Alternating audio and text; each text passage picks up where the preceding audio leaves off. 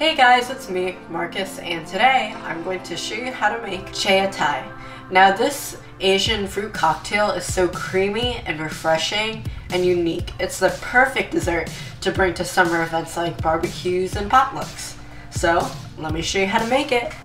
You should be able to find the ingredients for this recipe at your local Asian grocery store. So here I have a can of green Ai-Yu jelly, sugar palm nut, which is like toddy palm seeds, jackfruit, longan, nata de coco, which is coconut gel, colored tapioca pearls, and half and half.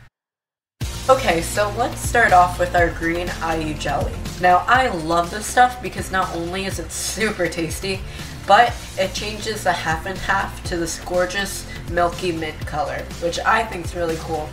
So as you can see here, I'm using a knife to cut up my Ai-Yu jelly into thin slices. I like this method because it creates for fantastic textural contrast. But feel free to cut it any way you like.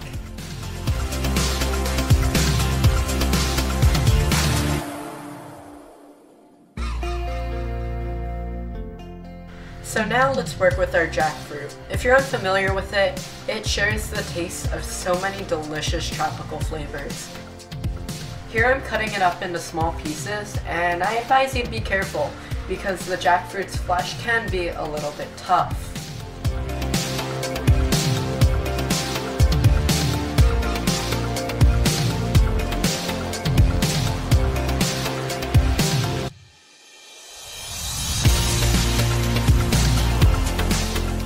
Here's my favorite part about Chè Thái, nata de coco. These translucent little cubes ooze out coconut water when you bite into them, and they're so good. Our next fruit is longan. This fruit is the perfect balance between tart and sweet. Here's our sugar palm nut. These may be firm, but they have a really delicate sweet flavor. I've also cooked some colored tapioca pearls, and I will have a video coming soon on how to cook them. And as you see, as I was trying to display the texture, my fingers got kind of stuck, but there you go. Okay, so now I've separated the fruit from the juice, and I'm just taking the cut up and prepared pieces and putting them into a strainer. And I'm just going to rinse them under cold water to get rid of some of that excess sweetness, since we're already adding some of the juice back into our mixture.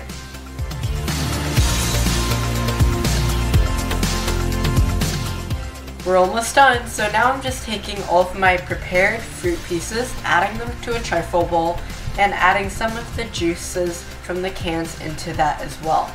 This is up to your discretion which kinds of juices you want to use and how much, but I just do it to taste. Now stream in 2 cups of well-chilled half and half and give the entire thing a really, really good stir.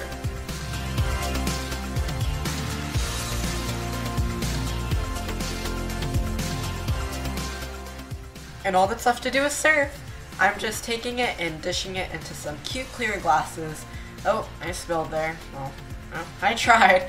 And then I'm just going to top it off with a spoon, straw, and crushed ice, and you're done. That's it.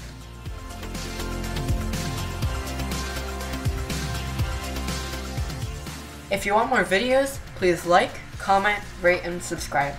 Enjoy!